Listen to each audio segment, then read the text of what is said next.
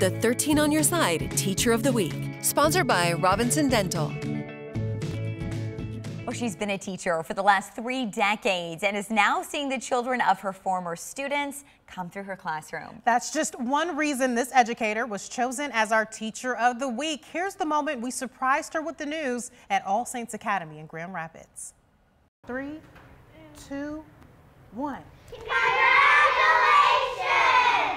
Colleen Anderson started teaching 35 years ago in the same building known as Blessed Sacrament back then. Today, it's the All Saints Academy. Forming saints to go out and make a difference in the world and giving those important foundations to those young students. I love it. I love preschool, bringing them the love of learning. Now her former students are bringing their children to her classroom. Not only did I get to share, you know, so much with them, but then when they bring their students in as well, I get to see that family and how they've grown and how important this school is to them that they would bring them back here. So I love it. I get to get to see where they went from when they were five. It's pretty amazing. The dog woke up and chased the squirrel. She has been really a staple in the All Saints Academy community for so many years. She's taught two of my own children. Couldn't wait to see the surprise on her face and the excitement and joy in the in the other students.